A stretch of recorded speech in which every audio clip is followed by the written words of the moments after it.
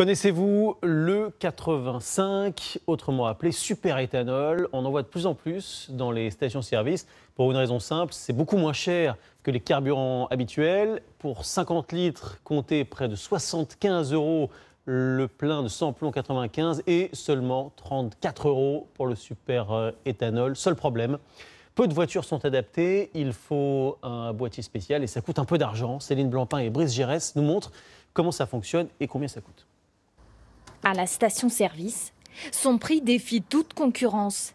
59 centimes le litre contre 1,41€ le samplon 95.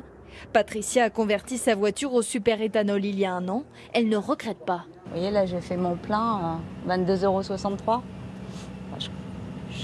je vais rouler 450, euh, 460 euh, km avec.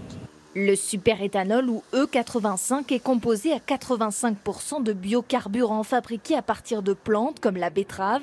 En un an, sa consommation a explosé, plus 80%. Économie de plus de 50% sur le carburant, malgré le fait que ça consomme un peu plus.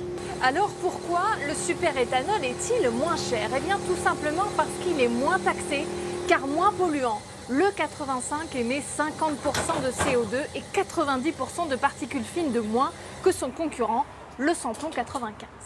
Seuls les véhicules essence peuvent être convertis au superéthanol. Pour cela, deux techniques, la reprogrammation de moteur ou la pose d'un appareil chez le garagiste. Donc il suffit simplement de monter un petit boîtier que vous voyez ici, Comptez entre 500 et 1500 euros en fonction des modèles de voitures. Cette année, par rapport à la demande, euh, on a doublé euh, la vente euh, des boîtiers et des montages. Depuis la crise des Gilets jaunes, certaines communes proposent même des aides financières à la conversion, comme ici à Mornan. Infirmière, cette habitante a bénéficié d'une aide de 150 euros. On fait environ 60 km quatre fois par semaine pour aller au travail. Donc c'était un, gros gros budget dans la famille. Le boîtier sera très très vite rentabilisé.